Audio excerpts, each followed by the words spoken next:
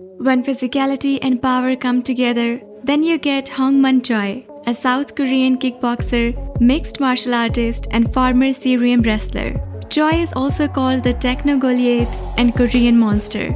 Winner of multiple awards, Choi is 7 feet 1 inch tall, and this height is good enough to intimidate even the best of MMA fighters. Choi's career started in the 2003 Ssireum Championships, winning the title against his longtime rival Kim Young Hyun. The following year of the competition, he reached the final yet again, but this time Kim beat him.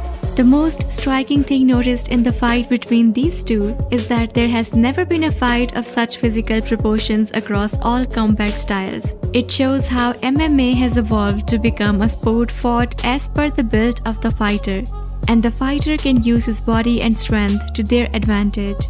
Therefore mentioned, Techno Goliath nickname was given to him after he won against his opponents and danced to techno music.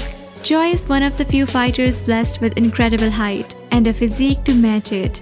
He is a complete powerhouse and although his opponents might be able to better him in all speed, all it takes is one crushing blow for him to take his opponent down. Choi continued with ssireum until 2004, after which he switched to kickboxing. He began training with K1 fighter Nicholas Pettas for his kickboxing career at the World GP 2005 event in Seoul in March 2005. In 2006, Choi switched to MMA, where he participated in 9 matches, winning 4 and losing 5. He was also scheduled to face Brock Lesnar, but this fight failed to materialize.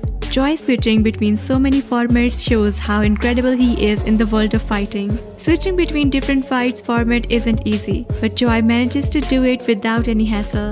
Of course he won't end up winning every fight, but he has shown a lot of courage, strength, and integrity in the fights he has taken part in. His kickboxing record is impressive, with 13 wins and 9 losses in 22 matches. When Choi isn't in the ring, he usually makes guest appearances on TV shows because many people regard him as a fan favorite outside the ring. Choi's passion for fighting knows no bounds. He is incredible at what he does.